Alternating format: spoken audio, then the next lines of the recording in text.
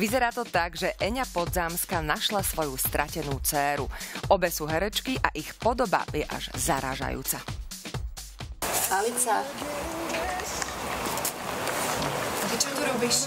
Ako by si z oka vypadli. Je ťažké neuveriť, že tieto dve dámy nie sú rodina. Ich podobu si všimli viacerí ľudia zo štábu. Ja by som vám možno, že aj uverila, keď by som vás videla spolu vás dve, že ste rodina. áno, áno, my sme sa, my sme sa veľmi potešili aj, aj, aj pán režisér Matúško Libovič, keď nás tak zbadal s Natálkou e, vedľa seba, že je super, že podobáte sa. Takže vyšlo to, no. Ja viem, máš na právo sa na mňa. A ty si myslíš, že máš právo hovoriť na čo ja?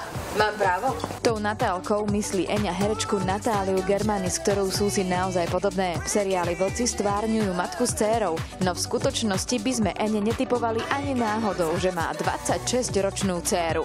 Áno, tak hráme sa na to, že, že jej, e, som bola mladučka, veľmi mladučka, keď som ju mala. Jej otec, ako môj bývalý manžel, tiež akože si mňa zobral ako mladú babu. No, tak tak. Ale inak ďakujem. Vyzeráte úplne inak, než som si vás predstavovala. Prepačte.